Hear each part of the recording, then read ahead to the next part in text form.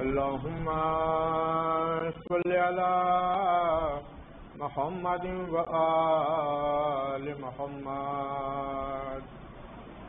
اللهم صل على محمد وآل محمد. أعوذ بالله من الشيطان الرجيم.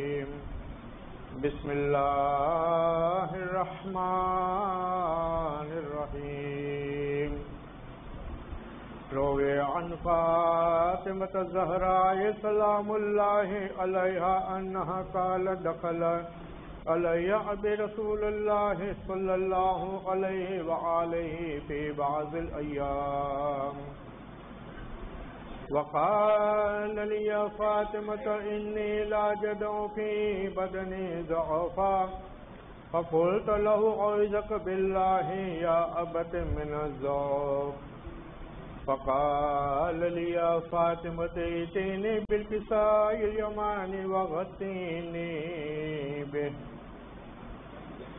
قالت فاطمة سلام الله عليها فأتيته بالكساء وغطيته به. فصرت أنظر إليه وإذا وجهه يتلألأ نورا كأنه القمر في ليلة تمامه وكماله. قالت فاطمة سلام الله عليها فما كانت إلا ساعة وإذا بي ولد الحسن قد أقبل وقال السلام عليك يا أماه فقلت وعليك السلام يا ولدي وقرة عيني فقال يا أماه إني أشم عندك رائحة طيبة كأنها رائحة جد رسول الله صلى الله عليه وآله فقلت نعم إن جدك نائم تحت الكساء فأقبل الحسن نحو الكساء وقال السلام عليك يا جداه السلام عليك يا رسول الله أتظن لي أن أدخل معك تحت هذا الكساء قال وعليك السلام يا ولدي قد زنت لك. فدخل الحسن عليه السلام معه تحت الكساء قالت فاطمة سلام الله عليها فما كانت إلا ساعة وإذا بولد الحسين. قد وقال السلام عليك يا أماه فقلت وعليك السلام يا قرة عيني واستمرت فؤادي فقال يا أمه إني أشم عندك رائحة طيبة كأنها رائحة جد رسول الله صلى الله عليه وآله. قلت نعم يا بني إن جدك وأخاك تحت الكساء فأقبل الحسين عليه السلام نحو الكساء وقال السلام عليك يا جداه. السلام عليك يا رسول الله. أتظن لي أن أدخل معك تحت هذا الكساء. قال وعليك السلام يا ولدي قد زنت لك فدخل الحسين عليه السلام معه تحت الكساء فما كانت إلا ساعة وإذا بأبي الحسنين علي ابن أبي طالب عليه السلام، قد أقبل فقال السلام عليك يا بنت رسول الله۔ فقلت وعليك السلام يا ابن عم رسول الله. فقال يا فاطمة إني أشم عندك رائحة طيبة كأنها رائحة أخي وابن عم رسول الله. فقلت نعم، ها هو مع ولديك تحت الكساء فأقبل علي عليه السلام نحو الكساء وقال السلام عليك يا رسول الله. السلام عليك يا من اختاره الله. أتظن لي أن أدخل معكم تحت هذا الكساء فقال صلى الله عليه وآله وسلم وعليك السلام يا ولي الله.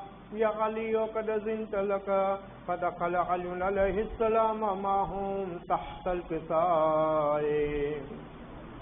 ثم أقبل فاطمة سلام الله عليها نحو الكساء، وقالت السلام عليك يا بتاه السلام عليك يا رسول الله أتزن لي أن أدخل معكم تحت هذا الكساء. فقال وعليك السلام بذتي ويا قرة عيني يا فاطمة قد زنت لك فدخلت فاطمة معهم تحت الكساء. فلما اكتملنا جميعا تحت الكساء، قال الله تعالى يا ملائكتي وسكان السماوات وعزتي وجلالي.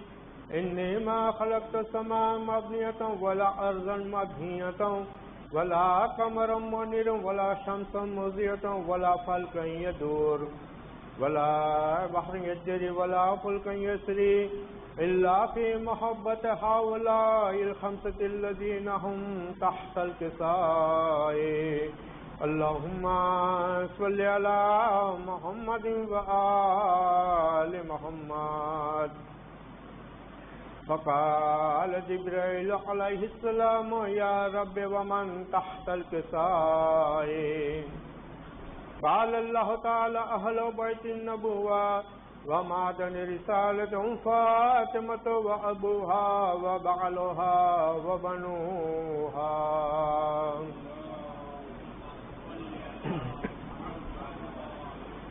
فقال جبريل يا ربي أتظن لي أن أحبت على الأرض لكم ما هم سادسا قال الله تعالى نعم قد زنت لك.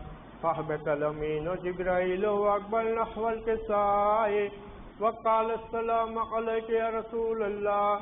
السلام عليك يا من اتاره الله. إن الله عز وجل يكرك السلام ويخصك بالتحية والإكرام. ويقول لك وعزتي وجلالي إني ما خلقت سماء مبنية ولا أرضا مبنية ولا قمر منير ولا شمس مضية ولا فلك يدور ولا بحر يجري ولا فلك يسري إلا لأجلكم ومحبتكم. وقد أذن لي أن أدخل معكم تحت هذا الكساء فهل تأذن لي أنت يا رسول الله قال نعم، قد أذنت لك فدخل جبريل معهم تحت الكساء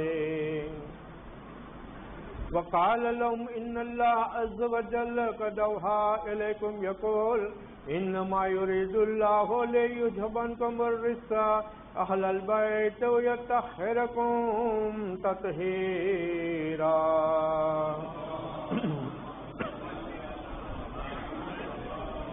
فقال علي عليه السلام يا رسول الله أخبرنا ما لجلوسنا هذا تحت الكساء من الفضل عند الله تبارك وتعالى فقال رسول الله صلى الله عليه وآله ما ذكر خبرنا هذا في محفل من محافل أهل الأرض وفي جمع من شيتنا ومحبينا إلا ونزلت عليهم الرحمة وحفت بهم الملائكة واستغفرت لهم إلا أن يتفرقوا فقال علي نزم والله خزنا وفاد شيتنا ورب الكعبة.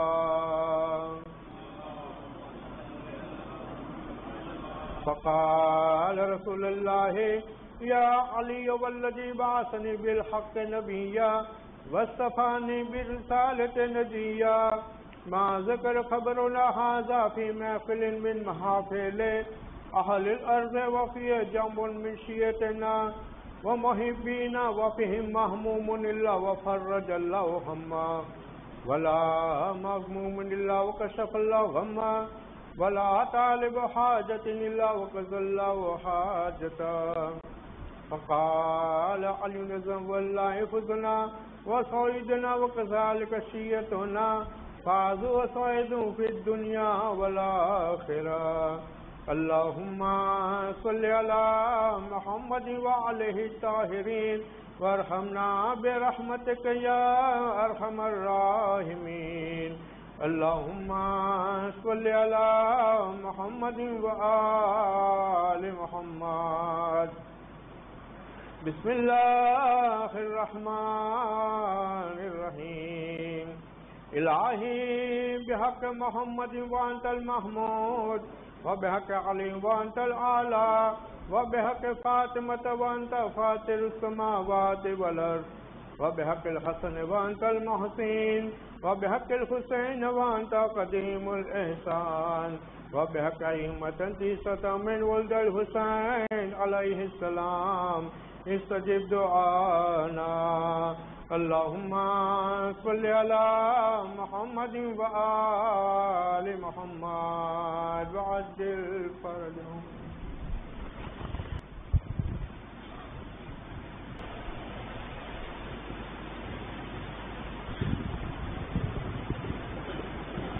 بر محمد وآل محمد صلوات.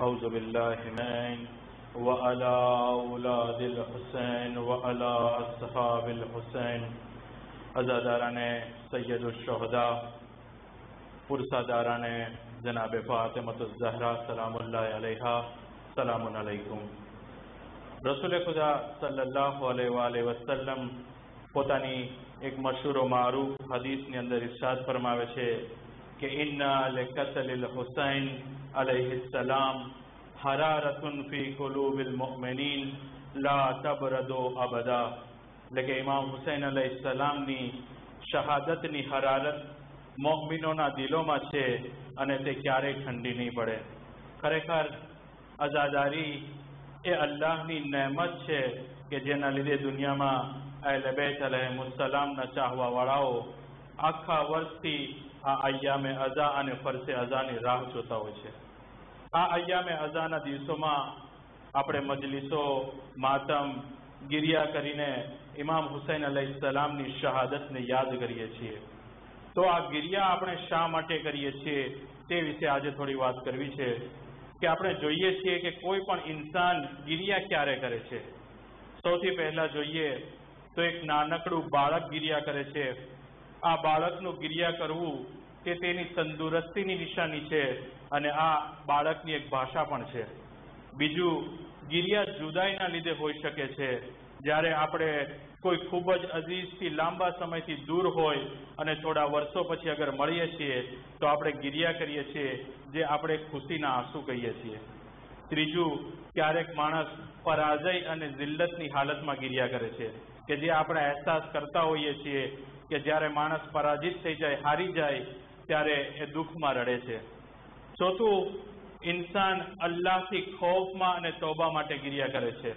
જે આપણે માહે મુબારકે રમઝાનમાં ઇમામો અલહેમુસલામે શીખવેલી દુઆઓને પડીને ગિરિયા કરતા હોઈએ છીએ. પાંચમું, કોઈ ઇન્સાન લાગણીને કારણે ગિરિયા કરતો હોય છે. જ્યારે માણસને કોઈ વસ્તુ અથવા કોઈ વ્યક્તિથી લાગણી હોય, તો તેનાથી મોહબ્બત અથવા તેનાથી દૂર થઈ જવાના ગમમાં તેની સાથે થયેલા બનાવોને યાદ કરીને રડે છે. આ બધા ગિરિયાનો અહીંયા જિક્ર કરવાનો આપણો મકસદ ઇમામે હુસૈન અલૈહિસ્સલામ ઉપર ગિરિયા કરવાની આપણી ફિતરતને સમજવાનો છે. અજીઝો અગર આપણે ગૌરવ ફિક્ર કરીએ, તો આપણને આ વાતનો અહેસાસ થશે કે ઇમામે હુસૈન અલૈહિસ્સલામ ઉપર આપણું ગિરિયા આપણી ઇમામ હુસૈન અલૈહિસ્સલામથી મોહબ્બતને જાહેર કરે છે. આપણું આ ગમમાં રડવું આપણી ઇમામ હુસૈન અલૈહિસ્સલામની મોહબ્બતને જાહેર કરે છે. કરબલાની અંદર જે મુસીબતો ઇમામે હુસૈન અલૈહિસ્સલામ તેમના સાથીદારો અને તેમના બચ્ચાઓ અને અહેલબેત ઉપર પડી તેને યાદ કરીને આપણે ગિરિયા કરીએ છીએ. ખુદ રસુલે ખુદા સલ્લાહ અલૈહિ વસલ્લમે પોતાની જિંદગીમાં ઇમામે હુસૈન અલૈહિસ્સલામ પર ગિરિયા કર્યો છે. અને જ્યારે જનાબે ઝહરા સલામુલ્લાહ અલૈહા પૂછે છે કે, બાબા, તમે શા માટે ગિરિયા કરો છો? તો રસૂલ ખુદા ફરમાવે છે કે, આ મારા નવાસાને ત્રણ દિવસના ભૂખ્યા અને પ્યાસા શહીદ કરી દેવામાં આવશે.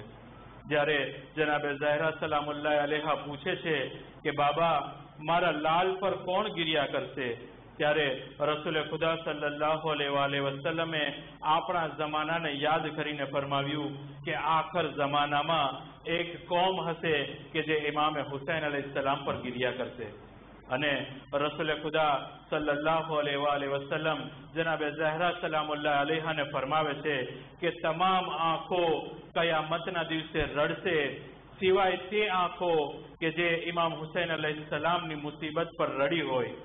તેઓ હસતી હશે અને જન્નતની નહેમતોથી ખુશ હશે.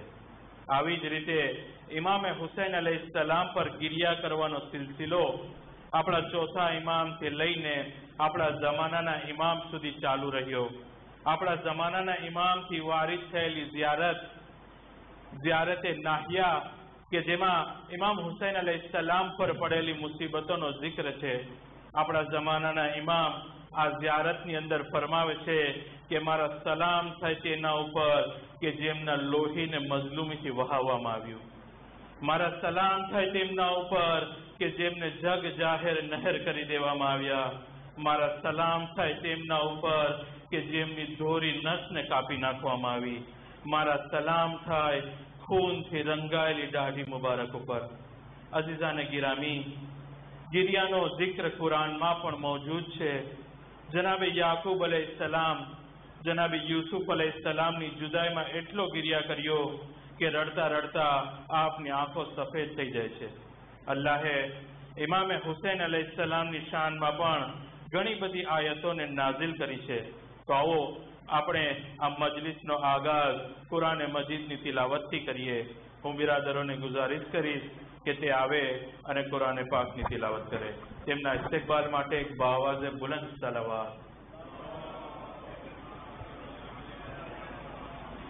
બિરાદર બિરાદરોને ગુજારિશ છે કે થોડા થોડા આગળ આવી જાય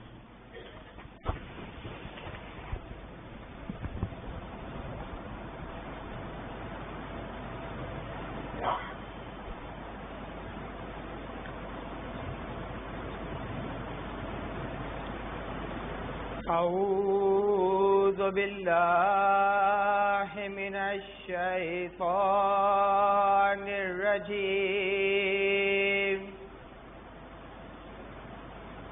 بسم الله الرحمن الرحيم. يا أيها الذين آمنوا اتقوا الله وآمنوا بالرسول يؤتيكم كفلين من رحمته. پناہ مانگو اللہ پاتے شیطان مضبوط کی۔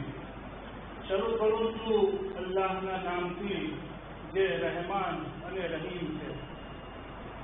એ ઈમાન લાવનારાઓ અલ્લાહથી ડરો અને તેના રસૂલ મોહમ્મદ સલ્લાહ અલહે વાલૈહિ વસલ્લામ ઉપર ઈમાન લાવો કે જેથી તે પોતાની રહેમતનો બમણો હિસ્સો તમને અતા કરે.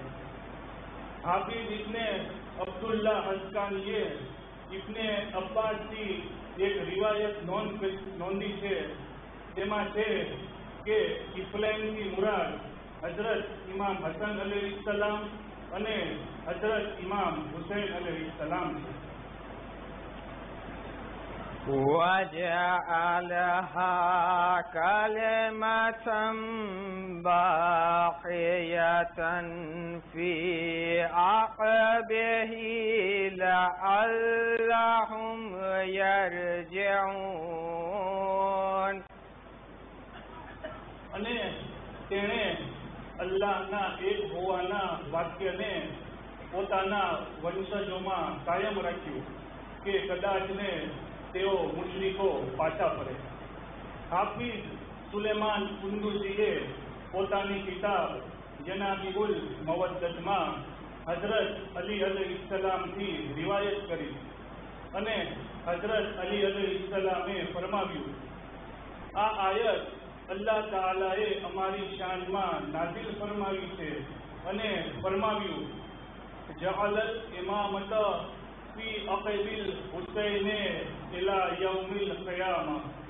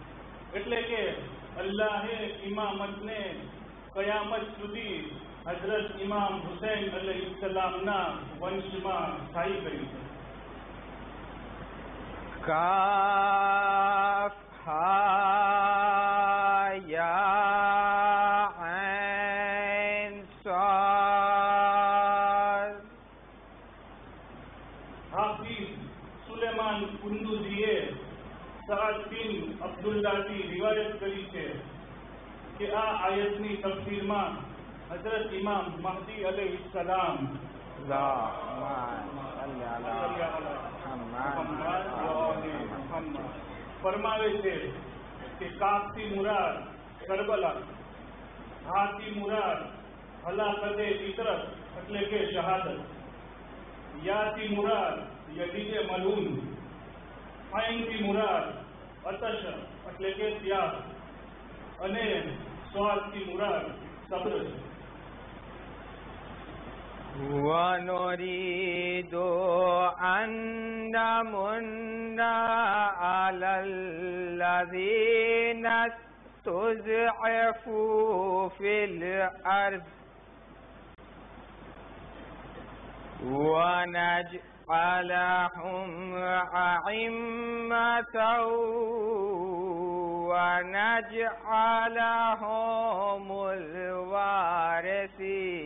الوارثين અને અમોએ એવો ઈરાદો કર્યો કે જમીન ઉપર કમજોર કરી નાખવામાં આવ્યા હતા તેમના ઉપર ઉપકાર કરીએ અને તેમને આગેવાન બનાવીએ અને તેમને સમગ્ર ધરતીના વારસ બનાવી દઈએ હાફિઝ હસકાની હનફીએ અબુલ હસન, પારસીથી અને જનાબે મુફજલથી અને તેમણે આપણા કઠાઈમાં હજરત ઇમામ સાદિક અલૈહિ સલામ.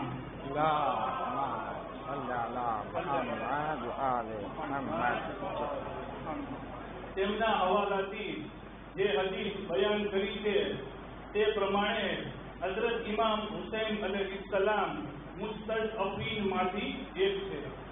એટલે કે જેમના માટે હઝરત રસૂલે ખુદા સલ્લલ્લાહુ અલૈહિ વ આલિહિ વસલ્લમે રડતા રડતા ફરમાવ્યું કે અંતમુલ મુસ્તઝફીના બાદી એટલે કે તમને મારા પછી કમજોર કરી નાખવામાં આવશે يا أيتها النفس المطمئنة ارجعي إلى ربك راضية مرضية فادخلي في عبادي وادخلي جنتي صدق الله العلي العظيم એ નફસે મુતમઈના તું તારા પરવરદિગાર તરફ પાછો પર એવી સ્થિતિમાં કે તું તેનાથી રાજી હોય અને તે તેનાથી રાજી હોય પછી તું મારા ખાસ બંદાઓમાં દાખલ થઈ જા અને મારી જન્નતમાં દાખલ થઈ જા حضرت امام جعفر صادق علیہ السلام اللهم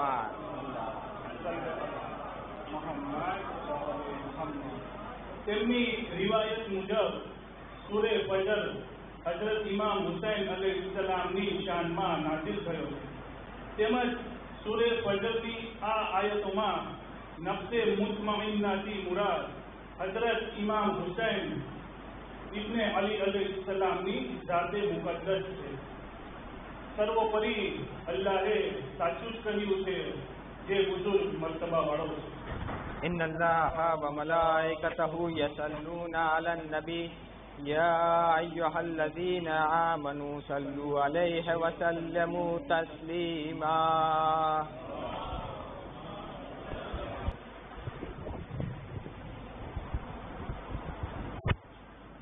ઇમામે હુસૈન અલૈહિસ્સલામના ગમમાં મરસિયા અને નોહા પડવાની ખૂબ જ ફઝીલત છે.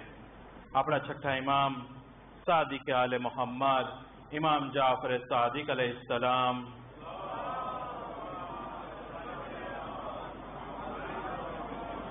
હદીસની અંદર ફરમાવે છે કે જે કોઈ ઇમામે હુસૈન અલૈહિસ્સલામની શાનમાં મરસિયાની એક પંક્તિ પડે, રડે અને રડાવે, તો અલ્લાહે પોતાના પર વાજિબ કર્યું છે કે તેને માફ કરી દે અને તેને જન્નત આપે આવો આપણે ઇમામે હુસૈન અલૈહિસ્સલામની શાનમાં મરસીઓ સાંભળીએ બિરાદરના ઇસ્તેકબાલ માટે એક બાવાઝે બુલંદ સલાવાત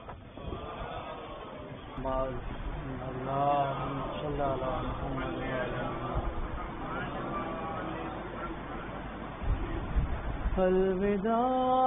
الوداع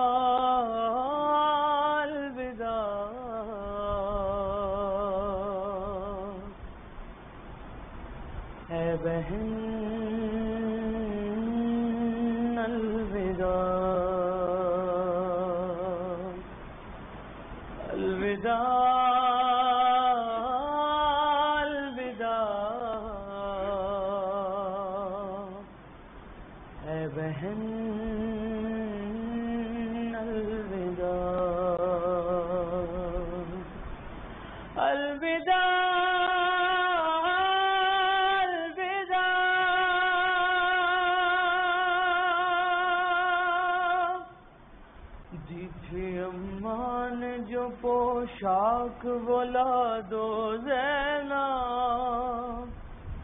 دی تھی اماں نے جو پوشاک بولا دو زینا اپنے ہاتھوں سے کفن مجھ کو پہنا دو زینا جیسے اماں نے جو پوشاک بولا دو زینا اپنے ہاتھوں سے کفن مجھ کو پہنا دو زینا۔ آج مقتل میں فقط بات تمہاری ہوگی۔ ابھی اماں سے ملاقات ہماری ہوگی۔ ابھی اماں سے ملاقات ہماری ہوگی۔ کوئی پیغام اگر ہے تو سنا دو زینا اپنے ہاتھوں سے کفن مجھ کو پہنا دو زینا ہاتھ پابند رسن، بہنا تمہارے ہوں گے۔ ارے مجھ کو رہ رہ کے خیال آتا ہے لاشے سے میرے۔ مجھ کو رہ رہ کے خیال آتا ہے لاشے سے میرے۔ تیر کس طرح نکالو گی، بتا دو زینا۔ اپنے ہاتھوں سے کفن مجھ کو پہنا دو زینا۔ جسے اماں نے جو پوشاک بلا دو زینا۔ اپنے ہاتھوں سے کفن مجھ کو پہنا دو زینا۔ میرے لاشے کی رہے گی تمہیں پہچان بہن۔ چا کر دو میرے کرتے کا گریبان بہن۔ چا کر دو میرے کرتے کا گریبان بہن۔ کوئی لوٹے نہ اسے، ایسا بنا دو زینا۔ اپنے ہاتھوں سے کفن مجھ کو پہنا دو زینا۔ سامنے اپنے سکینہ سے اتر بھالو گوہر۔ ابھی کچھ دیر میں لٹ جائے گا مظلوم کا گھر۔ ابھی کچھ دیر میں لٹ جائے گا مظلوم کا گھر۔ یہ امانت کسی گوشے میں چھپا دو زینا اپنے ہاتھوں سے کفن مجھ کو پہنا دو زینا باہر آنے کو نہ خیمے سے میں کہتا تم کو۔ ارے باہر آنے کو نہ خیمے سے میں کہتا تم کو۔ ہوتے عباس تو تکلیف نہ دیتا تم کو۔ ہوتے عباس تو تکلیف نہ دیتا تم کو۔ بن کے عباس مجھے زی پہ بٹھا دو زینا اپنے ہاتھوں سے کفن مجھ کو پہنا دو زینا قید خانے کی سنبھالو یہ امانت بی بی خدا کسی باپ کو یہ منظر نہ دکھا ارے قید خانے کی سنبھالو یہ امانت بی بی گود میں لو اس مظلوم ہو رخصت بی بی گود میں لو اسے مظلوم ہو رخصت بی بی میرا دامن ارے میرا دامن میری بچی سے چھڑا دو لینا میرا دامن میری بچی سے چھڑا دو لینا اپنے ہاتھوں سے کفن مجھ کو پنا دو دینا ہاں۔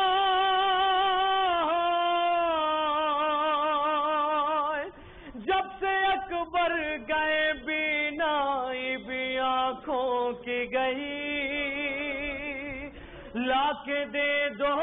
علی اصغر کی نشانی کوئی لا کے دے دو۔ علی اصغر کی نشانی کوئی کرتا بے شیر کا آنکھوں سے لگا دو زینا۔ اپنے ہاتھوں سے کفن مجھ کو پنا دو زینا۔ گھر سے شبیر جنازے کی طرح سے نکلے۔ گھر سے شبیر جنازے کی طرح سے نکلے۔ سبھی روتے تھے تکلو در خیمے پہ کھڑے۔ سبھی روتے تھے تکلم در خیمہ پہ کھڑے۔ شہن جس دم کہا مرنے کی رضا دو زینا شہن جس دم کہا مرنے کی رضا دو زینا اپنے ہاتھوں سے کفن مجھ کو پنا دو زینا الوداع الوداع۔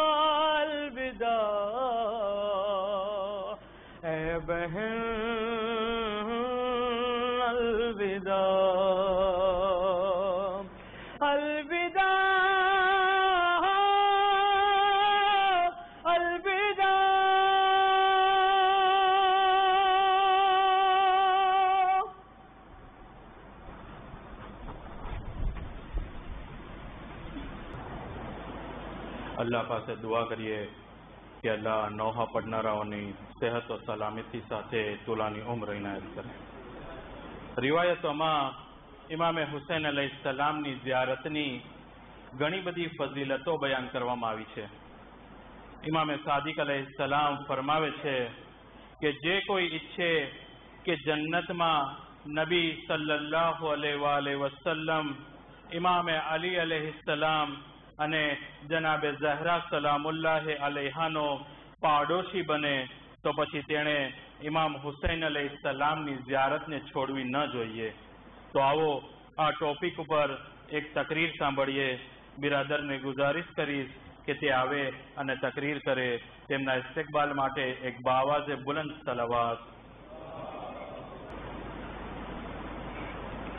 لا حول ولا قوة إلا بالله العلي العظيم حسبنا الله ونعم الوكيل، نعم المولى ونعم النصير.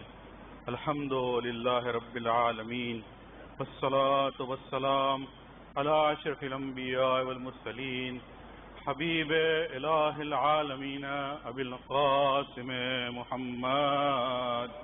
اللهم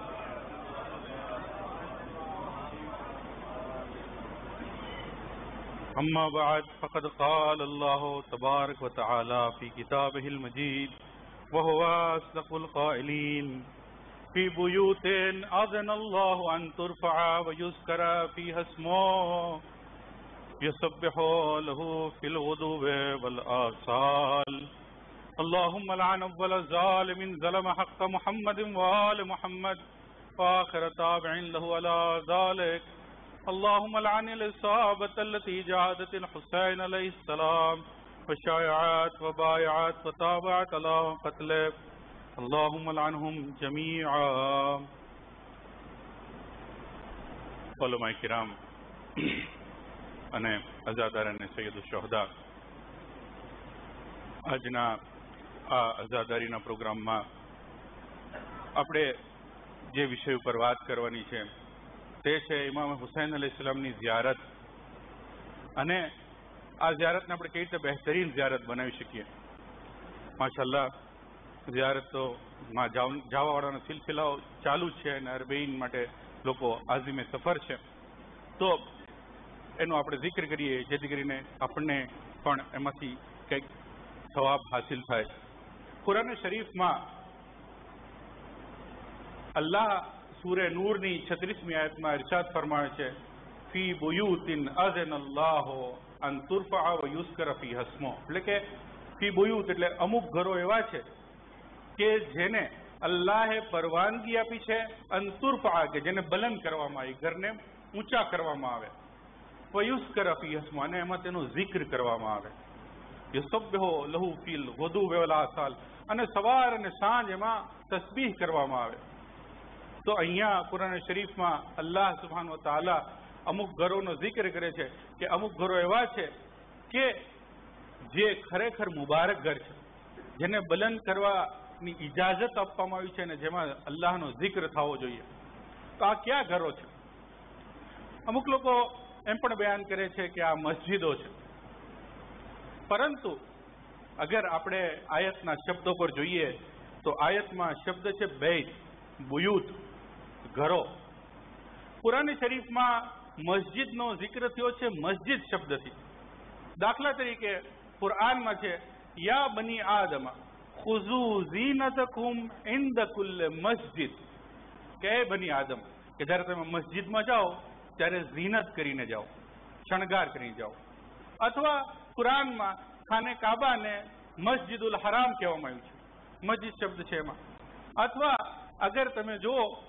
તો મસ્જિદ કુબા એના માટે કુરાન કે છે મસ્જિદ ઉસ્તસા અલ તકવા, આ મસ્જિદ જે છે, એ તકવાના બુનિયાદ ઉપર કાયમ કરવામાં આવી છે.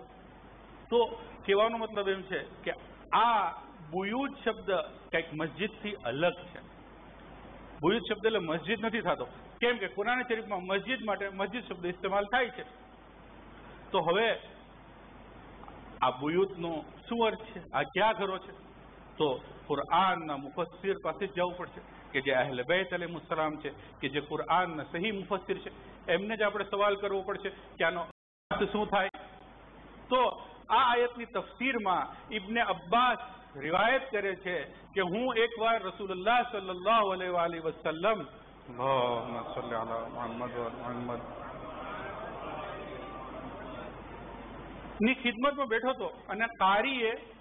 આ આયતની તિલાવત કરી કે જે આપણે જિક્ર કર્યો, ફી બુયુતિ નઝન અલ્લાહ.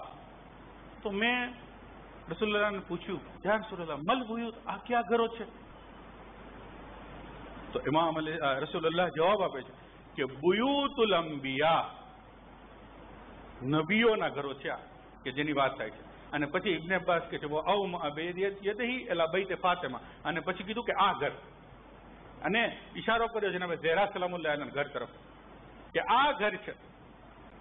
નબીઓના ઘર છે અને આ ઘર છે. એટલે જ જ્યારે આપણે ગમે તે ઇમામની ઝિયારત માટે ઊભા રહીએ છીએ ઈઝને દુખુલ માટે, જ્યારે આપણે ઝિયારત પડીએ, એટલે દહ દાખલ થવાની પરવાનગી માંગીએ છીએ. તો ઈઝને દુખુલના પહેલા શબ્દ શું હોય છે? પહેલો શબ્દ, પહેલું વાક્ય એ જ હોય છે કે, અલ્લાહુમ્મા ઇન્ની વકફ તો અલા બાબિન મિન અબવાબ બુયુતે નબીયકા. એ મારા પરવરદિગાર હું ક્યાં ઊભો છું હું ઊભો છું, તારા નબીના ઘરના દરવાજોમાંથી એક દરવાજા ઉપર ઊભો છું. તો આ આયત અને એની તફસીરથી જાહેર થાય છે કે અઈમા અલેમુસલામની કબરો અને મઝારાત જે છે એ કુરઆનની અંદર એને પરવાનગી આપવામાં છે કે બલન કરવામાં આવે અને તેમાં તેનો જિક્ર કરવામાં આવે અને તેની ઝિયારત કરવામાં આવે. એમાં કોઈ મુમાનિયાત નથી. કુરઆન આની તાયીદ કરે છે હવે આપણે હદીસોની રોશનીમાં જોઈએ અને બિલખુસૂસ ઇમામે હુસૈન અલૈહિ ઇસ્લામની ઝિયારતની ફઝીલત કે ઇમામ હુસૈન ઇસ્લામની ઝિયારતની બેશુમાર ફઝીલતો છે એક રિવાયત આપણે ખાલી જોઈએ કે જે કામિલ ઝિયારત નામની કિતાબમાં છે કે તેમાં ઇમામે મોહમ્મદ બાકીર અલી ઇસ્લામ ફરમાવે છે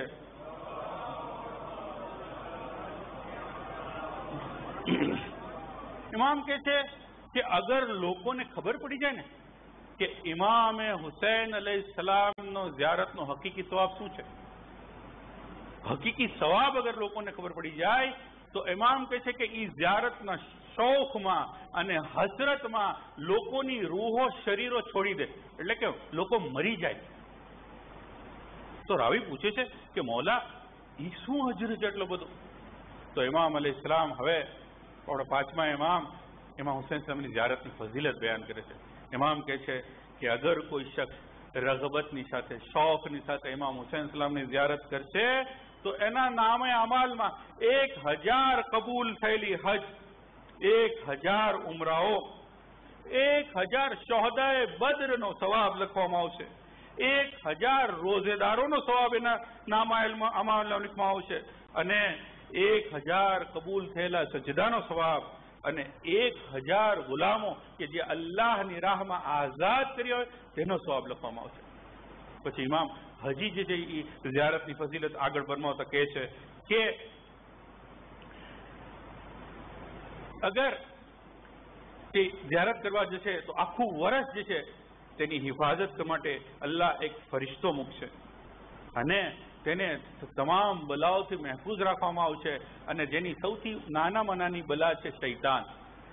પછી એમાં, ઇમામ અલી આગળ ફરમાવે છે કે અગર તે શખ્સ ઈ જ વર્ષે વફાત પામી જશે, તો રહેમતના ફરિશ્તાઓ એની તશીએ જનાઝામાં આવશે. એને ગુસ્લો કફન આપશે. અને એની જનાઝાની પાછળ પાછળ ચાલશે. દફન વિધિમાં શરીક છે. ત્યાં સુધી કે અલ્લાહ તેની કબ્રને તેની કબ્રમાં ફિશારનો એને મહેફૂઝ ફરમાવશે ફિશારથી, અને મુનકિર અને નકીરના સવાલથી એના ખોફથી એને અમાન આપશે.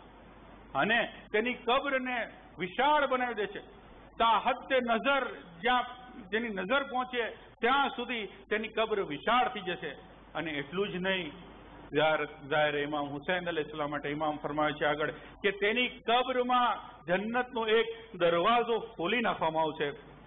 અને ઇમામ હજી આગળ સવાબરમાં બયાન ફરમાવે છે કે અને જ્યારે કયામતના દિવસે તે ઉઠાડવામાં આવશે, તો તેનો નામે અમાલ તેના જમણા હાથમાં આપવામાં આવશે. અને તેનો હિસાબ આસાન થશે. અને જે છે એ ઇમામ અલી સલામ ફરમાવે છે કે એનો ચહેરો એટલો બધો રોશન હશે કે આખું મહેસર પૂર્વ અને પશ્ચિમ એના કારણે પ્રકાશિત થઈ જશે. અને પછી કહે છે કે ત્યારે આ શખ્સને જોઈને એક મુનાદી નિદા આપશે કે લોકો જોઈ લ્યો, આ ઈ શખ્સ છે કે જેણે શોખ અને રગબતથી ઇમામે હુસૈન અલી ઇસ્લામની ઝિયારત કરી હતી. ઇમામ બાકીર ઇસ્લામ કહે છે કે ત્યારે મેદાન મહેશરમાં, કયામતમાં મેદાનમાં કોઈ એવું નહીં હોય કે જે હસરત કરતું હશે કે કાચ અમે પણ ઇમામ હુસૈન અલી ઇસ્લામના ઝાયરોમાંથી હોત. બાકી આ તો એક હદીસ છે. હદીસો કામેલું ઝિયારત. આખી કિતાબ આ હદીસો, આવી હદીસોથી ભરેલી છે કે જેમાં બેશુમાર ફાયદાઓ લખવામાં આવે છે. એમાં હુસેન ઇસ્લામની ઝિયારતમાં. જેમ કે આ ઝિયારતના કારણે ઇન્સાનની હાજતો પૂરી થાય છે. આ ઝારતના કારણે એના ઉપર બેશુમાર રહેમતો વરસાય છે. આ ઝારતના કારણે તેના રિસ્કમાં વધારો થાય છે. આ ઝિયારતના કારણે તેની ઉંમરમાં ઇજાફો થાય છે. આ ઝિયારતના કારણે તેના ગમો દૂર થાય છે. આ ઝિયારતમાં એને જે ખર્ચ કર્યો છે એ ખર્ચનું વળતર એને વાળી દેવામાં આવશે અને આ ઝિયારતમાં પસાર થયેલા દિવસો એની ઉંમરમાં ગણવામાં નહીં આવે. ને આવા બેશુમાર ફઝાઇલ જે છે એ બયાન થયા છે. પણ સૌથી વધારે તો એ રિવાયત છે કે જે ખરેખર આપણે એમ થાય કે કેટલો મોટો મરતબો છે ઝિયારતનો. રાવી કહે છે કે હું એકવાર ઇમામ જાફર સાદિક અલી ઇસ્લામની ખિદમતમાં ગયો અને ઇમામ જે છે એ સજદામાં દુઆ કરતા હતા. કોના માટે દુઆ કરતા હતા? ઇમામ હુસેન ઇસ્લામના ઝાયરીન માટે દુઆ કરતા હતા. અને કહેતા હતા કે, વરહમ તિલકલ વુજૂહ ગયરત હશમ. એ મારા પરવદિગાર સજદામાં ઇમામ દુઆ કરે છે. તે ચહેરાઓ ઉપર રહેમ કરજે કે જે ઇમામ હુસૈન ઇસ્લામની ઝારતના કારણે એ ચહેરાઓ બદલાઈ ગયા છે. ઈ ચહેરા ઉપર, ઈ આંખો ઉપર રહેમ કરજે ઇમામ આગળ કે છે, સજદાની અંદર કે જે ઇમામ હુસૈન ઇસ્લામની ઝરી ઉપર જે છે એ બદલાઈ જાય છે, એને ચેન નથી આવતું. ઈ આંખો ઉપર રહેમ કરજે ઇમામ સજદામાં કહે છે કે જે આંખો, આંસુઓ વહાવે છે, અમારા ગમમાં અમારી ઉપર જે મુસીબતો પડી છે એના માટે. તો આપણે જોયું કે ઇમામ માસૂમ આના માટે દુઆ કેમ? કેમ કે ઇમામ જે છે એ જાણે છે કે આ ઝાયર જે છે અમારી મોહબ્બતમાં આવ્યો છે, અમારી વિલાયતમાં આવ્યો છે. હવે અજીજો આ ઝિયારતની બેશુમાર ફઝીલત આપણે જોઈ, હવે આપણે એક સવાલ છે કે આપણે આ ઝિયારતને બહેતરીન ઝિયારત કેવી રીતે બનાવી શકીએ આપણી? તો, રિવાયતોમાં છે કે કોઈ પણ અમલ હોય, એની અમલની કિંમત એ અમલ મારેફત સાથે અદા થાય, એમાં છે.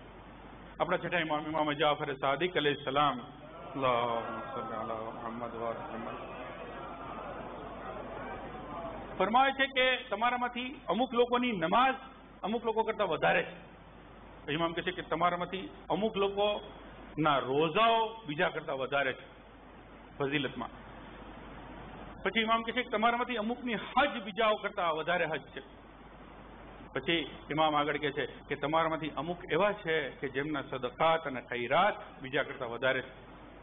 પછી ઇમામ કહે છે, પણ તમારામાંથી જે સૌથી અફઝલ છે, ઈ હસ્તી છે, ઈ શખ્સ છે કે જેની મારેફત વધારે છે. તો આપણે જોયું કે અમલની કિંમત કઈ રીતે વધી શકે આપણા? આપણી આ ઝિયારતને આપણે બહેતરીન ઝિયારત કેમ બનાવી શકીએ? તો કે ઝિયારત મારેફતની સાથે કરીએ.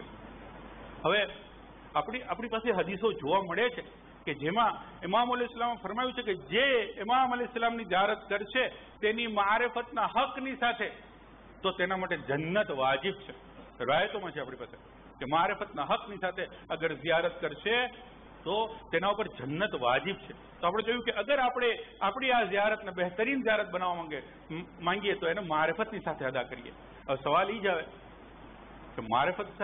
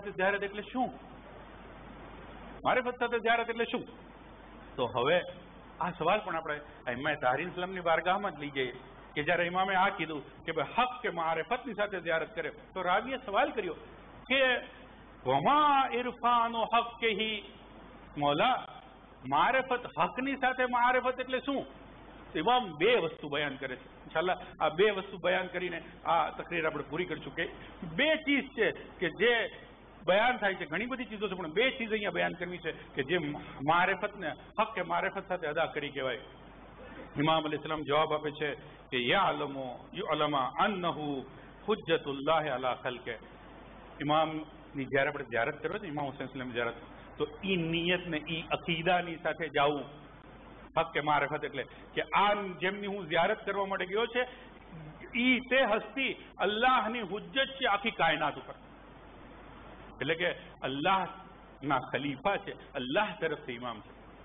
અઝીઝો, આપણો એ ઇમ્તિયાઝ છે. બાકી દીગર મુસલમાનો આ નથી માનતા. આપણે માનીએ છીએ કે ખલીફા ને ઇમામ તો ફક્ત અલ્લાહ જ નિયુક્ત કરે. બીજા એમ કે છે કે નહીં, ઉમ્મતને હક છે. નહીં, આપણે કહીએ છીએ કે નહીં. ઇમામ મનસૂસ મિન અલ્લાહ હોય ને આ અકીદાની સાથે આપણે જ્યારત કરવાની છે. અને આ કુરાનમાં મોજૂદ છે.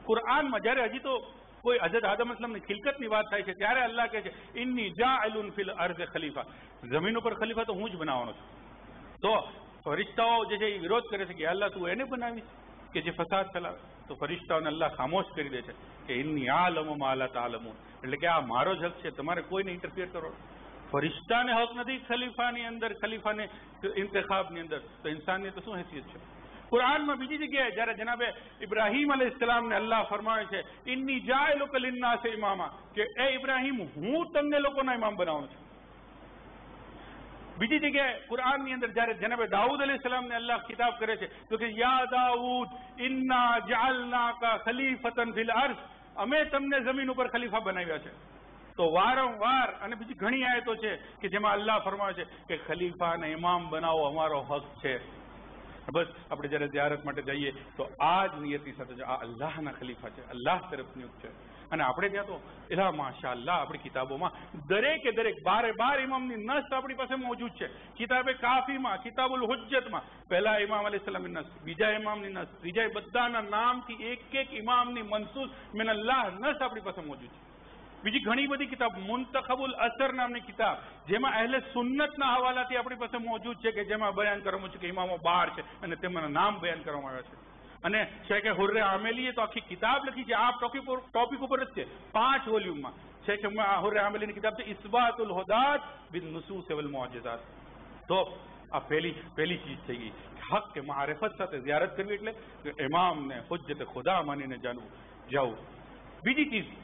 કે જ્યારે ઇમામ અલી સલામને પૂછવામાં આવ્યું કે મા ઇરફાનો હક કે તો ઇમામ અલી સલામે જવાબ આપ્યો યાલમો અન્નહુ મુફતરઝુન બિત્તાઆ એ જાણી લેવું કે જેની હું ઝિયારત કરવા જાઉં છું એની ઇતાઅત વાજિબ છે કેવી રીતે વાજિબ છે આખી કાયનાત ઉપર કોના ઉપર વાજિબ છે તો કે ફક્ત ઇન્સાન ઉપર નહીં પથ્થરો ઉપર એમની ઇતાઅત વાજિબ છે શજર ઉપર એમની ઇતાઅત વાજિબ છે હૈવાનાત ઉપર એમની ઇતાઅત વાજિબ છે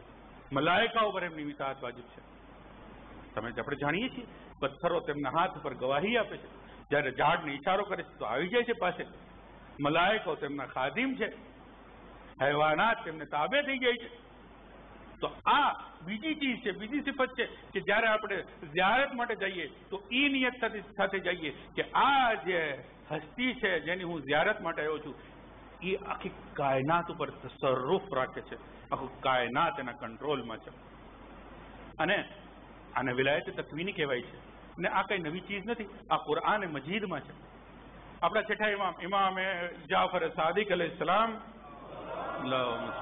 મોહમ્મદ મોહમ્મદ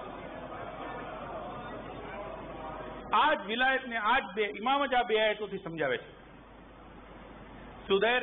સૈરફી અબુ બસીર અને બીજા લોકો ઇમામની ખિદમતમાં હાજર હતા ત્યારે ઇમામ સુદૈરને કહે છે, સુદૈર, શું તે કુરાનમાં આ આયત પડી છે? પછી ઇમામ આયત પડશે કાલ અલ્લઝી ઇન્દહુ ઇલ્મુ મિનલ કિતાબ, અના આતીક બિહી કબલ અન યરદદ ઇલૈક તરફો. આ તમને ખબર છે, આ વાક્યો જનાબે સુલેમાનનો છે, કે જનાબે સુલેમાન ને ત્યાં જે રાણી જે બિલકિસ આવવાની હતી, એ પહેલા જનાબે સુલેમાને પોતાના દરબારમાં એલાન કર્યું કોણ છે કે જે તખ્તે બિલકિસ મારી પાસે લાવી દે એ આવે પહેલા.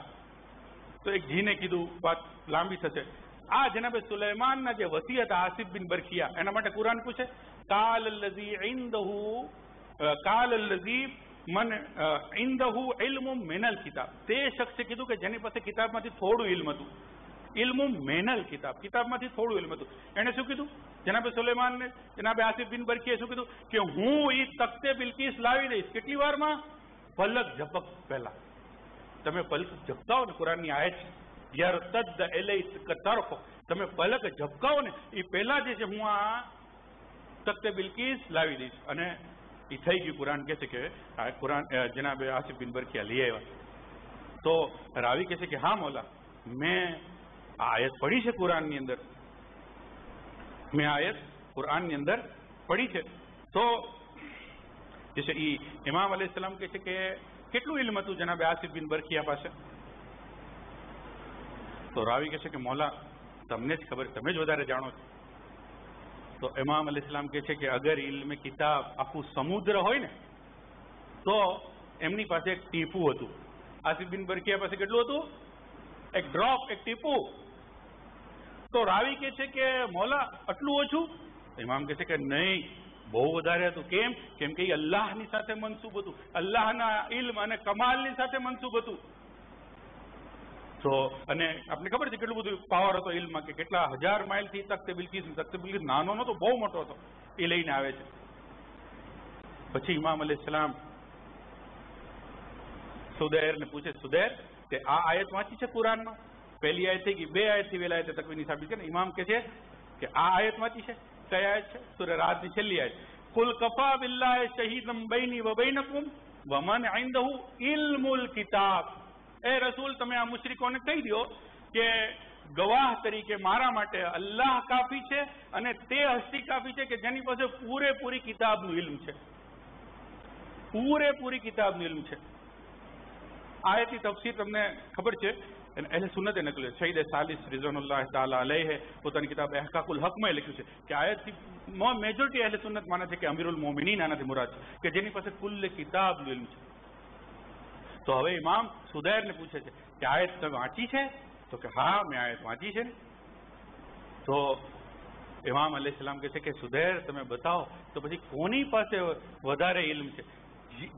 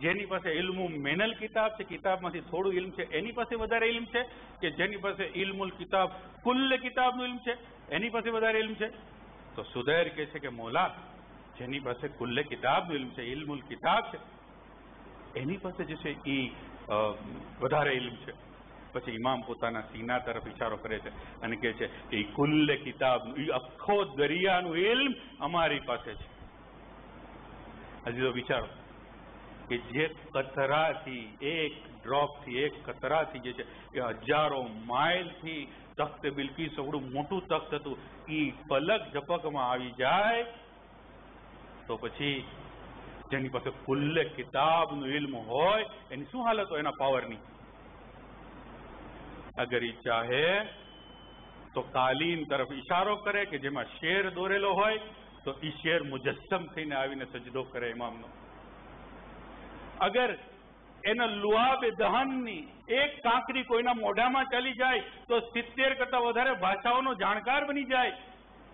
આ છે ઇમામ આ અકીદાની સાથે આપણે ઝિયારત કરવાની છે કે જેની હું ઝિયારત કરવા જાઉં છું એ મુફતરઝુન બિત્તાઆ છે. એટલે કે તેની પાસે કાયનાતની દરેક ચીજનું ઇલ્મ છે. અને તેની પાસે જે છે, ઈ તેની ઇતાઆત કાયનાતની દરેક ચીજ ઉપર વાજિબ છે. ઇમામ જૈનુલ આબિદીન ઇસ્લામના અયામ ચાલે છે.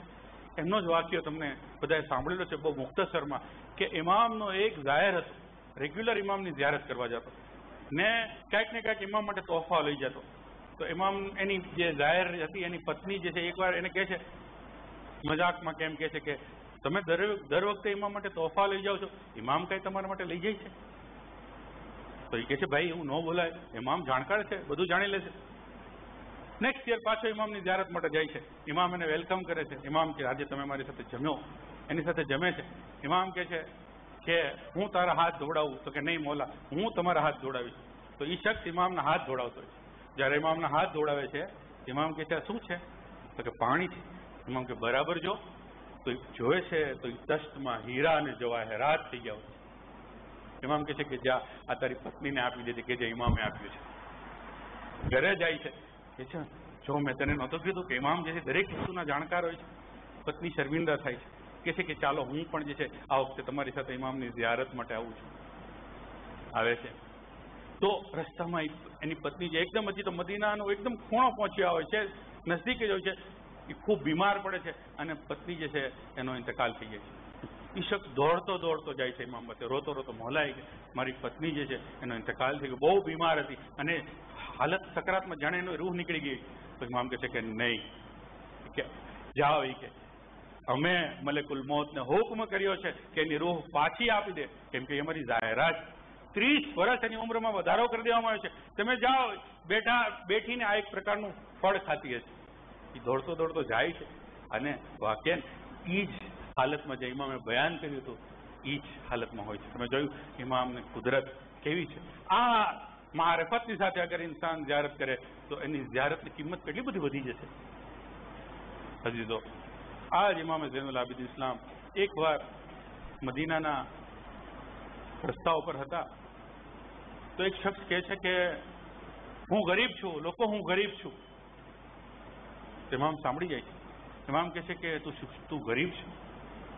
તો કે હા હું ગરીબ છું તો ઇમામ કહે છે કે ભાઈ તું મને બતાવ કે અગર તને અત્યારે પ્યાસો હો ને તું પાણી માંગ તો પાણી મળી જશે ઇમામ કહે છે કે શું કામ નહીં હું પાણી માંગીશ તો મને પાણી મળી જશે તો ઇમામ અલી સલામ બીજો સવાલ કરે છે કે એ શખ્સ અગર ખુદાના ખાસ તારો ઇંતકાલ થઈ જાય અહીંયા તો તને કફન મળી જશે તને દફન કરી દેશે લોકો તો ઇમામ કે એ શખ્સ કહે છે કે શું કામ નહીં આ તો મુસલમાનોનું ગામ છે. મને શું કામ જે છે એ દફન, કફન દફન નહીં મળે. બસ, ઇમામ અલી સલામ કરબલાનો રૂખ કરતા અને કહેતા અસલામ આલેક યા અબા અબ્દુલ્લા એ શખ્સ તું ગરીબ નથી. ગરીબ તો એ છે કે જેનો લાશો કરબલાના રણમાં બે ગોરો કફન પડ્યો રહ્યો. વસયાલમુલ્લઝીન ઝલમુ અય્ય મુનકલબી યંકલબૂન. یا اللہ بحق محمد و آل محمد امام زمان سلام نا ظہور ما تعجیل فرماؤ امام نا ناصرین ما تمنا غلام تمنا مخلصیوں اور شمار فرماؤ وآخر دعوانا الحمد للہ رب العالمین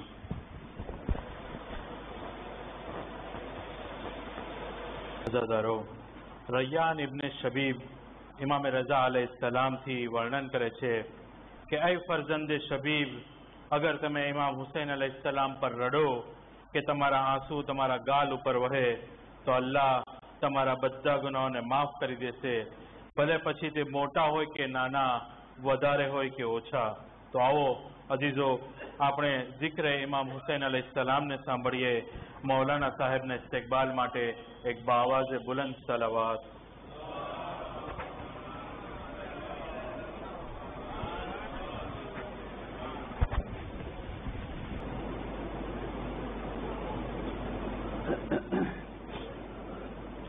لا حول ولا قوة إلا بالله العلي العظيم. أعوذ بالله من الشيطان اللعين الرجيم. بسم الله الرحمن الرحيم. الحمد لله الذي هدانا لهذا وما كنا لنهتدي لولا أن هدانا الله. لقد جاءت رسل ربنا بالحق. والصلاة والسلام والتحية والإكرام على النبي الأمي القرشي الهاشمي مولانا ومولى الثقلين جد الحسن والحسين أبي القاسم محمد.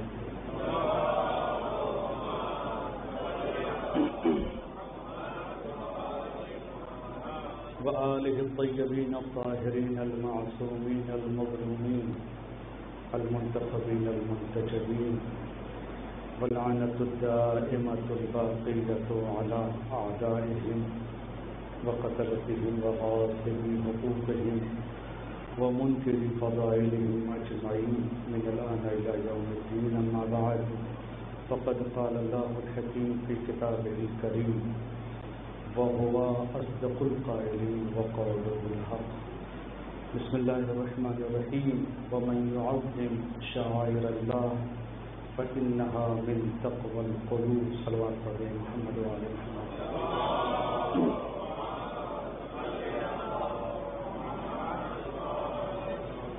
بہرحال عظمت کربلا والوں کے صدقے میں کچھ باتوں کو پیش کرنے کی توفیق اور سعادت ملی۔ اسی کے حوالے سے تھوڑی دیر اگرچہ آپ حضرات نے مکمل سنا اور مکمل کربلا والوں کے حوالے سے جن باتوں کو سنا، کربلا کی زیارت اور امام حسین صاحب السلام کی زیارت کے حوالے سے جن باتوں کو سنا، وہ ساری باتیں یقیناً دلوں تک پہنچ جائے یہی دعا ہے۔ لیکن کچھ باتیں میں ایمان بھائی سے شروع کروں گا کہ بہرحال بہت پیارے انداز میں پیش کیا۔ اور ہم سب کی کوشش یہی ہے کہ خاص کربلا ہماری قبروں کی زینت بنی۔ ہم سب کی کوشش یہی ہے کہ شفاف حسین علیہ السلام ہماری نجات کا ذریعہ بنے کامیاب زندگی وہی ہے اور بہرحال یہ جو ایام ہیں اب لوگ تیزی کے ساتھ تیاری کر رہے ہیں۔ اس طرف جانے کے لیے جہاں زندگی بڑھتی ہے، اس طرف جانے کے لیے جہاں شرافتیں مل رہی ہیں، اس طرف جانے کے لیے جہاں پر حیات تقسیم کی جا رہی ہے۔ بڑی پیاری بات ہے کہ بہت سی باتیں ایسے میں ان کو دہرا تو نہیں سکتا، لیکن بہرحال کچھ پیاری باتوں کی طرف آپ نے اشارہ کیا، جن میں سے ایک تو ولایت ولایت تکوینی اور تشریح کی طرف نہ جاتے ہوئے ایک گہرا عنوان ہے اور جن باتوں کو ائمہ علیہ السلام نے اپنی زندگی میں پیش کیا، کہ مثال کے طور پر پانی سے ہیرے اور یاقوت بنا دینا، یہ تو ان کے ان کے گھر کے غلام اور کنیز بھی بنا دیتے ہیں۔ یہ تو ہم نے دیکھا ہے کہ گھر کے غلام اور کنیز بھی اس چیز کو بنا دیتے، لیکن چونکہ ولایت جتنی سامنے والا سمجھ سکتا تھا، اتنی اہل بیت علیہ السلام نے سمجھایا۔ ورنہ کیا ہے؟ یہ تو وہ ہستیاں ہیں جو عدم کو وجود بخشتی ہیں۔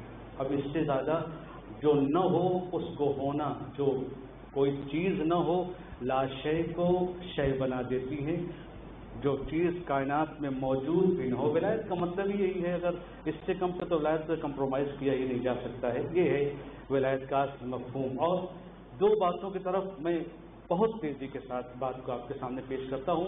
کہ زیارت عربین کا زمانہ آ رہا ہے، انشاءاللہ تمام مومنین، اور یہ ایک الگ بحث ہے کہ علامت مومن میں سے اس کو کیوں قرار دیا گیا، بہت سے طولانی بحث ہے۔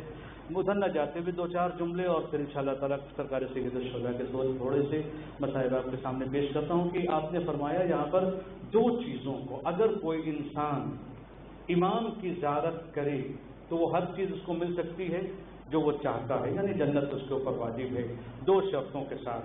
ایک شرط کیا ہے کہ ان کی معرفت معرفت کیا ہے؟ وہ معرفت کے ساتھ، ہفتے معرفت، حقیقت میں یہ جو عام ذہن ہے، اس کو سمجھ نہیں سکتا۔ ہفتے معرفت کیا ہے؟ بہرحال جو ہمارے بزرگوار یہ سب الحمد للہ فاضل لوگ ہیں، پڑھنے اور پڑھانے میں زندگی گزار رہے ہیں، تو ہفتے معرفت یہ کم سے کم ڈیفینیشن کی حد تک ہم کو سمجھ میں آ سکتی ہے۔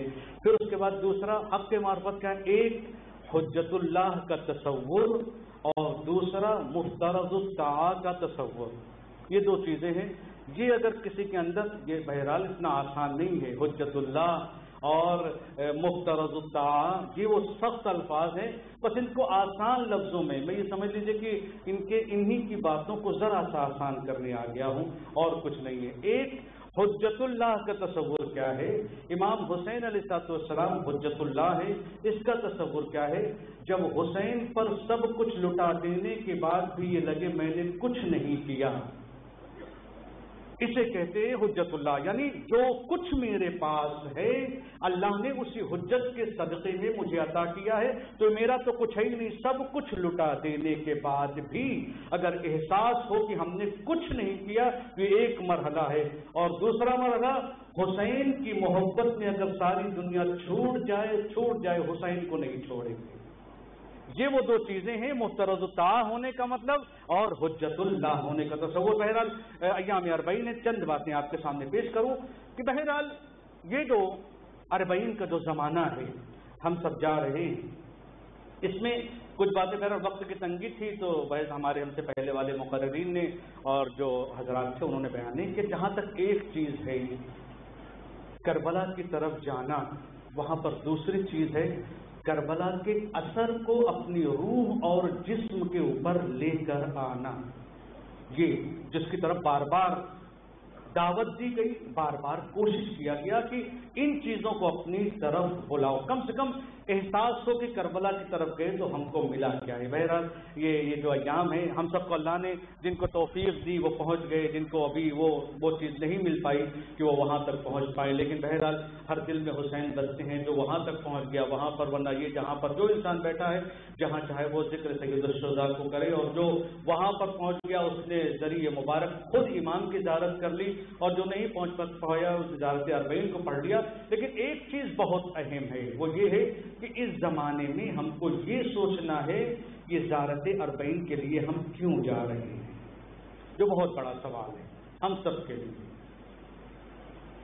کہ ہماری ذمہ داریاں کیا ہیں؟ کیا یہ وجود صرف امام کے دیار تک جانے کے لائق ہوا ہے؟ یا واقع مفترض الطاع کی بات یا واقع حسین کو ہم نے اپنا لیا ہے؟ اگر امام حسین علیہ صاحب السلام اپنائے جا چکے ہیں، تو پھر زندگی میں تنگیاں نہیں ہونی چاہیے، زندگی میں پریشانیاں نہیں ہونی چاہیے۔ ایک معمولی سے میں آپ کو مثال دوں، شاید بات واضح ہو جائے۔ ابھی اربعین پہ جانے سے پہلے لوگ کہتے ہیں، جانے سے پہلے جوتے بھی بدلنا ہے، چپل بھی لینی ہے، کپڑے کیسے ہونے چاہیے، کریم کون سی ہونی چاہیے، کھانا کون سا ہونا چاہیے۔ شادی میں جا رہے ہو یا امام کے اربعین کی زیارت کے لیے جا رہے ہو؟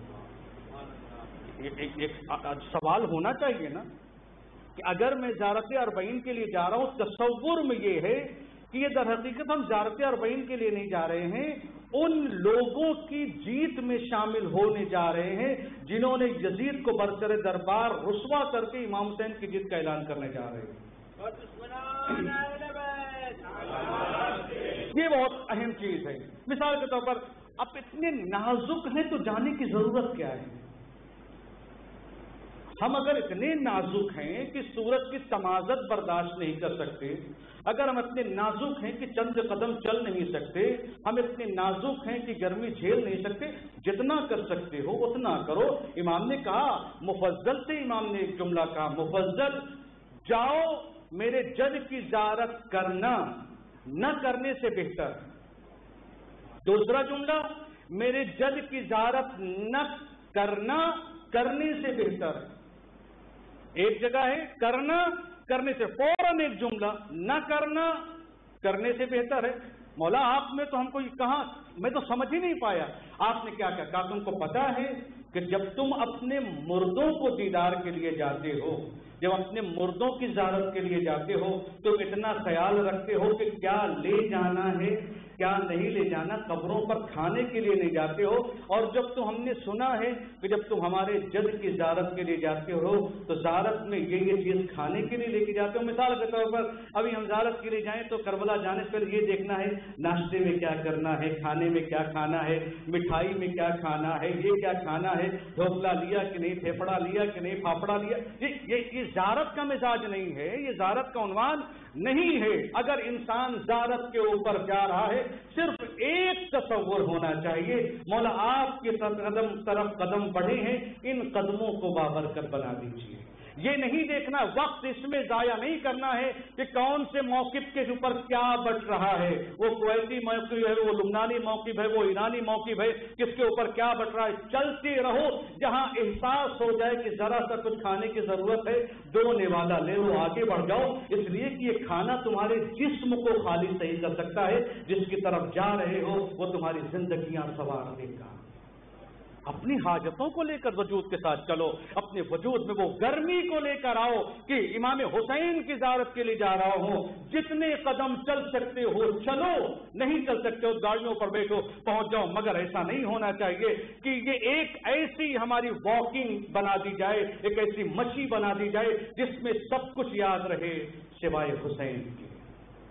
ایسا نہ ہونے پائے۔ بالکل سے میں خاص طور سے اپنے ان جوانوں سے کہہ رہا ہوں کہ جائیں، ہم سب جائیں زیادہ اربعین سے جائیں۔ کوشش کریں کس موقع میں کیا بٹ رہا ہے، اس کو تلاش نہ کریں۔ جہاں جو مل جائے، کھا کے آگے بڑھو۔ یہ نہیں کہ ایک گھنٹہ لائن میں لگا دیا ہے، خالی یہ کہ مثال کے طور پر جوجے کباب ملنا ہے، چلو کباب مل رہا ہے، اس میں لائن میں لگا دیا کہ یہ کھانا مل جائے۔ وہاں پر جو ہے وہ مچھلی مل رہا ہے، وہاں پر تلا ہوا مرغا مل رہا ہے، وہاں پر جو ہے وہ بہترین روسٹڈ مل رہا ہے۔ نہیں، اس کے لیے مت جاؤ۔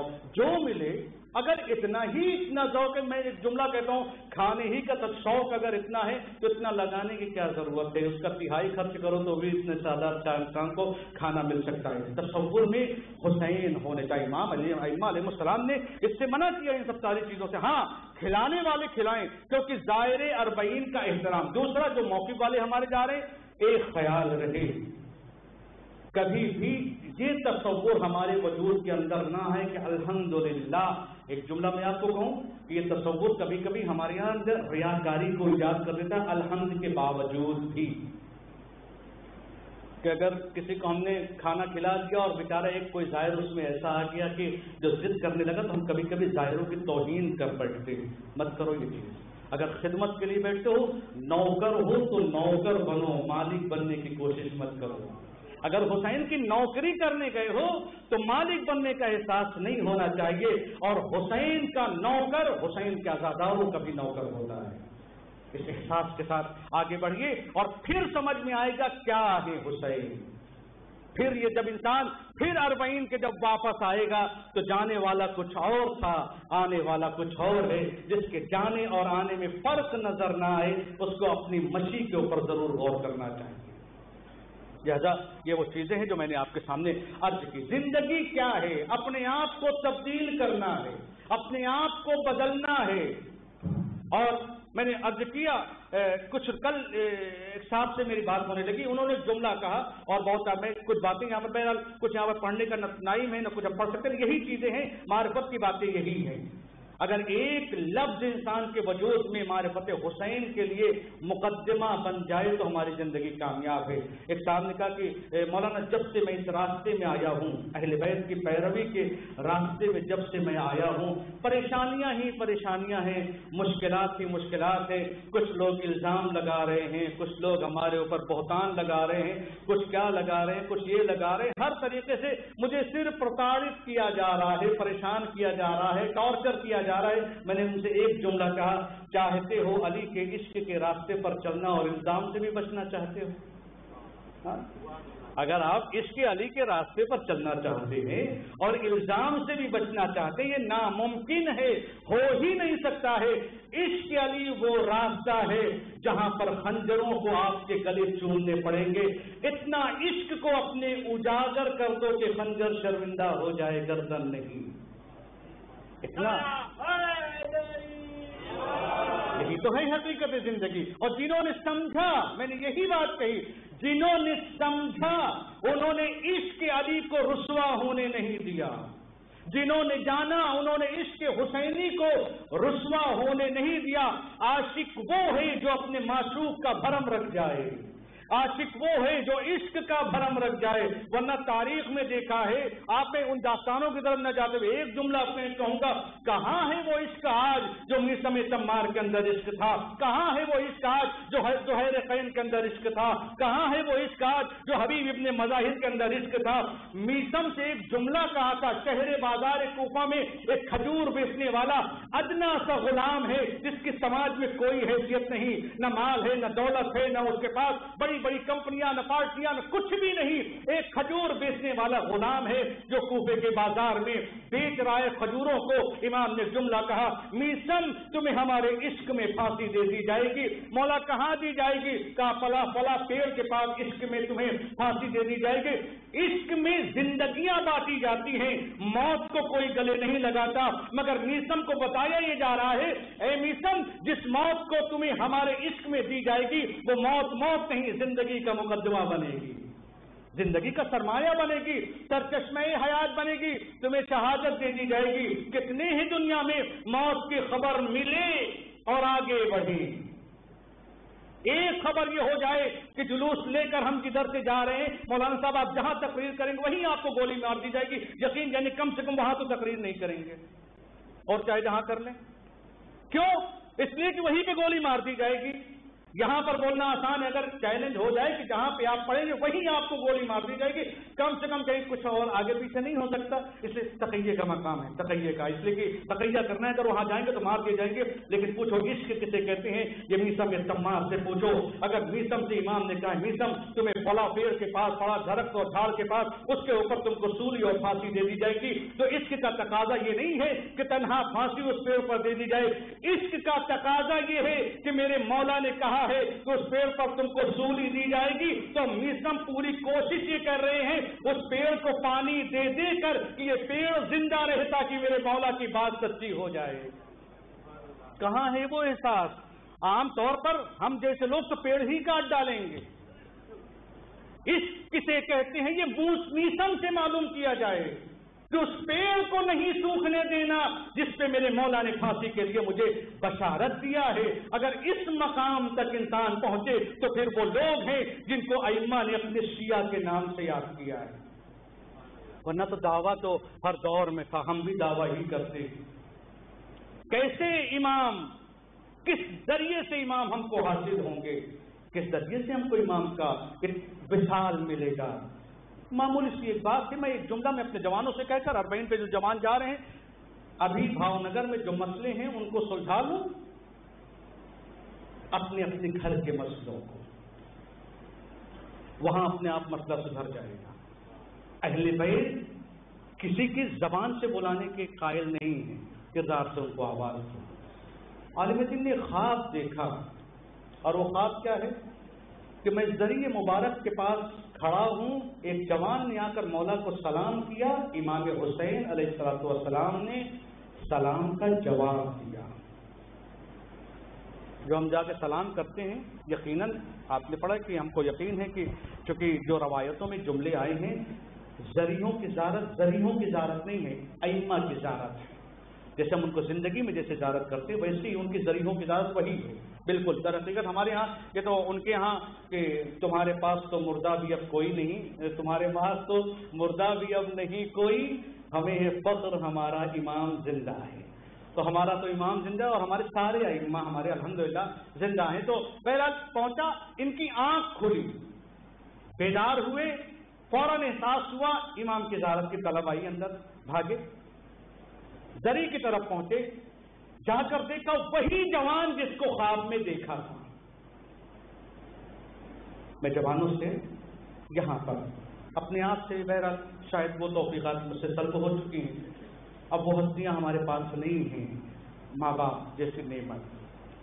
جن کے پاس ہے وہ قدر کریں اور یہ وہ نعمتیں ہیں جو ایک مرتبہ چھن جائیں تو پھر نصیب نہیں ہوتی۔ دنیا کی ہر نعمت مل جائے گی سوائے اس نعمت۔ کی دیکھا تو وہی جوان۔ اس نے آ کر سلام کیا، امام کا جواب ملا، مسکراتا ہوا وہ آگے بڑھا۔ انہوں نے روک لیا کیونکہ بہرحال ان کو تو جواب والا نہیں ملا۔ روک لیا انہوں نے، جو ظاہری سلام کا جواب یقیناً امام کو سلام کا جواب دیتے ہی ہوں گے۔ پوچھا، تمہارے اندر ایسی کیا خاص بات ہے؟ کہ جب تم جب آ کر سلام کرتے ہو، مولا تم کو جواب دیتے اس نے کہا، کچھ نہیں، میں کچھ خاص آدمی معمولی سی دکان چلاتا ہوں۔ غریب آدمی ہوں شہر کا میرے پاس کوئی حیثیت نہیں کچھ نہیں کہا کچھ تو ہے، جس کی وجہ سے کائنات کی حجت کو جب تم سلام کرتے ہو تو تمہارے سلام کا جواب دے رہا ہے۔ اس نے کہا، بس کچھ نہیں، بس ایک ہی چیز میں کوشش کرتا ہوں اپنی زندگی میں، جوانوں، اس کو سننا۔ ایک ہی چیز ہے میں کوشش کرتا ہوں، اس کو اپنی زندگی میں عملی کروں۔ وہ کیا ہے؟ کہ جب بھی میں مہینے میں، پندرہ دن میں، ہفتے میں، جب بھی میں زیارت کے لیے آتا تھا، ایک ہفتے اپنے باپ کو لے کر زیارت پہ آتا تھا اور اگلے ہفتے میں اپنی ماں کو زیارت پر لے کر آتا تھا۔ کا بس، کا نہیں، اس میں ایک چیز اور ہے۔ کا ایک ہفتے جب میں اپنے باپ کو لے کر زیارت کے لیے چلا تو میری ماں نے کہا کہ بیٹا، مجھے بھی لے لو۔ میں بھی زیارت کے لیے جاؤں گی۔ آج کتنے لوگ ہیں؟ یقیناً میں اپنے، اگر آپ نے دس مرتبہ زیارت کر لیا ہے، اور گیارہویں مرتبہ بھی آپ کے پاس اتنا ہی پیسہ ہے جس سے آپ زیارت کرنے جا رہے ہیں، تو کم سے کم اس کو خیال رکھ لیجیے جو آپ کے شہر میں اس فراق میں تڑپ رہے ہیں کہ مولا ابھی تک ہمیں آپ کی زیارت نصیب نہیں ہوئی۔ ان کو بھی بھیج دیجیے ایک مرتبہ۔ یقیناً وہ بھی فراق میں تڑپ رہے ہیں۔ وہ بھی کچھ لوگ ہیں جو واقعی اتنی زندگیاں گزر گئی ہیں مگر وہ زیارت نہیں کر پائے ہیں۔ اگر ہمارے پاس وہ حیثیت ہے تو ان کو سپورٹ کریں، ان کو بھیجیں۔ امام علیہ صاحب اس کا بھی بہت اجر ہے۔ اور روایتوں میں اس کو وہی مقام دیا جائے گا۔ اگر کسی کو آج زیارت پر بھیج رہے ہیں تو جیسے آپ خود زیارت پر جا رہے ہیں، وہی سوال ہے۔ تو ماں کہنے لگی کہ بیٹا، مجھے بھی دل کا اماں یہ جو ٹانگنے والا یہ جو جو اربانہ ہوتا ہے ہے اس پہ ایک ہی جگہ ہے اور ہم بٹھا نہیں سکتے۔ تو کہا، بس بیٹا، پتہ نہیں اگلے ہفتے زندگی رہے کہ نہ رہے۔ مجھے بھی زیارت کے اوپر لے کے چلو۔ میں چاہتی ہوں کہ اپنے مولا کی زیارت کروں۔ جوان بیٹا، باپ کو اس گاڑی کے اوپر بٹھایا۔ ماں کو اپنی پیٹھ پر بٹھایا اور لے کر گیا۔ کہا، بس تب سے جب میں نے اپنے ماں باپ کو اس کیفیت میں زیارت کرایا ہے، تو جب بھی میں آ کر زری کے پاس کہتا ہوں، السلام علیکم یا ابا عبداللہ، تو سلام کا جواب ملتا ہے۔ یہ کون سی چیزیں جوانوں، میرے چھوٹے بچوں، میرے بزرگوں اربعین پہ آپ سب جائیے ضرور جائیے جتنا ہو سکے جائیے پیسے نہیں ہیں تو قرض لے کر جائیے جیسے بھی ہو سکے جائیے زیارت کے اوپر جائیے لیکن جس کی زیارت کے لیے جا رہے ہیں، اس کی مرضی آپ کے گھر میں بیٹھی ہوئی ہے۔ اپنے ماں باپ کے دل کو خوش کرو۔ اپنے ماں باپ کی خدمت کرو۔ اپنے ماں باپ کے دکھ درد کو سمجھو۔ بوڑھے ہو گئے ہیں تو اس انتظار میں مت پتہ نہیں کس خبر، کب کیا ہو جائے، کب خبر آ جائے، کب ان کی دنیا ختم ہو جائے۔ نہیں، جب تک وہ زندہ ہیں، ان کی خدمت کرو۔ کیونکہ جو اولاد اپنے ماں باپ کی خدمت کرتی ہے، وہی اولاد اہل بیت کی محبوب ہوتی ہے۔ کربلا میں عجیب چیزیں پیش کی۔ سرکار سے ہو جانے، بس میں نے آپ کی زحمت کو تمام کیا۔ عشق کے اہل بیت انسان کو جینا سکھاتا ہے۔ اور یہ کربلا میں بہترین طریقے کی جو مجلس ہے شہدائے کربلا کی یاد ہوئی۔ کیسی عظیم ہستیاں، کیسی پاک اور صاف ہستیاں، کیسی عظمتوں والی ہستیاں۔ کہ تاریخ اور مختلف کربلا لکھتی ہے کہ پیاس کی شدت کی وجہ سے ہونٹ پھٹ چکے۔ ہیں اتنی پیاس ہے کربلا والوں کو کہ پیاس کی شدت کی وجہ سے ہونٹ پھٹ چکے۔ ہیں مگر تاریخ میں کہیں نہیں ملتا کہ جہاں پر اپنی پیاس کی شکایت آ کر امام سے کیا ہو۔ سرکار بابا کا ہم سب جانتے ہیں، عظیم عظمتوں کے معنی کبھی کبھی ہم اختیار سے اپنے باہر چلے جاتے ہیں۔ اگر بے تحاشا کا ہم کو پانی پیاس لگی ہو، تو ہمارا اختیار بھی نہ رہے گا کہ ہم نے پانی کب پی لیا۔ جو تین دن کا بھوکا پیاسا ہے ہاتھ میں پانی ہے پھر بھی پانی کو ہاتھ لگانے کے باوجود بھی لب تک نہ پہنچنے دے گی ہے سر پائے بس سر ایسی عظیم ہستیاں، ایسی وفادار ہستیاں کہ جب تک امام کے ساتھ یہ تھے، امام کو ڈھارس ہے، امام کو تسلی ہے، امام کو سکون ہے۔ لیکن جیسے جیسے ایک ایک کر کے سب شہید ہوئے، امام جب وہ تنہا ہو گئے، آپ نے ابھی اس منزل کو اور اس منظر کو آپ نے سنا اور پڑھا۔ امام حسین علیہ السلام کا آخری وقت ہے۔ عجیب مصیبت ہے صاحب کہتے ہیں کہ امام کے پاس اتنا وقت نہیں ہے کہ ہر ایک سے ملاقات کی جائے۔ امام در خیمہ پر آئے۔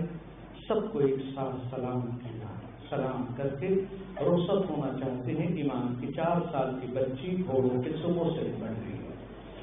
بابا، میں آپ کو جانے سے نہیں روکوں گی، بابا۔ چونکہ سکینہ سب کچھ دیکھ رہی اہل بیت کے بچے ہیں۔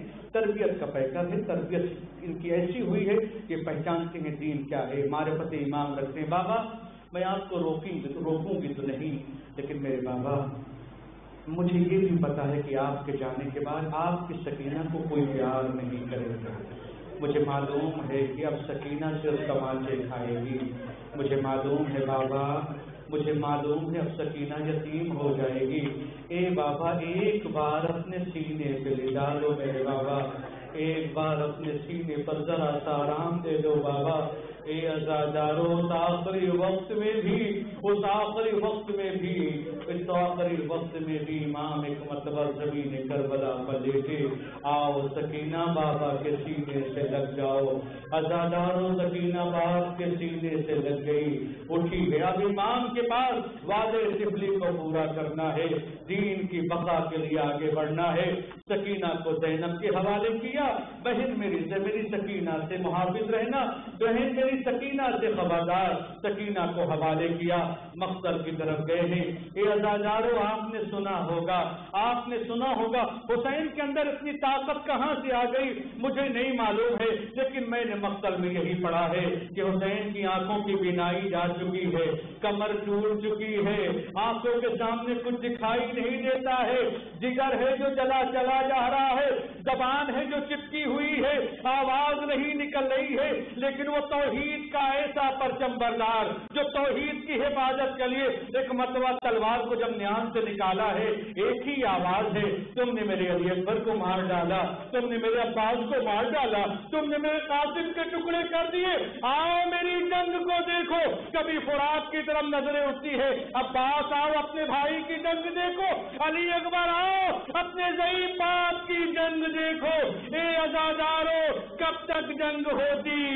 ایک وہ منزل آئی، امام نے حملہ کیا، حملہ کر کے رکے ہیں۔ آپ ذرا سا رکے ہیں کہ ایک مرتبہ ایک مرتبہ ظالم کا تیر چلا۔ پیشانی مبارک پر آ کر تیر لگا ہے۔ آپ نے ابا کا دامن اٹھایا تیر کے خون کو صاف کرنے کے لیے۔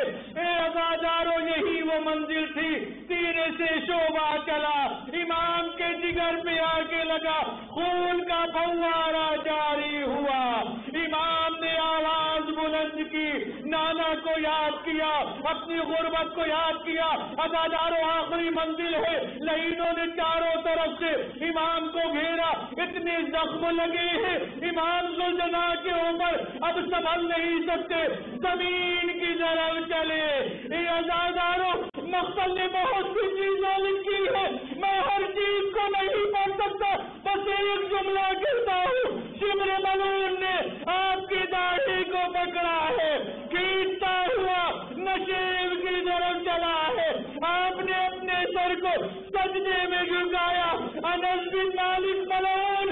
مرتبہ نیزا لے کر آگے بڑھا۔ امام کے پہلو پر مارا۔ امام دو ہاتھ زمین پر گرے۔ اے ازادارو شمر کا خنجر چلا۔ الا قد قتل الحسین بکربلا۔ الا قد ذبح الحسین بکربلا۔ کبھی تم کربلا نہ بھولنا۔ ایک دن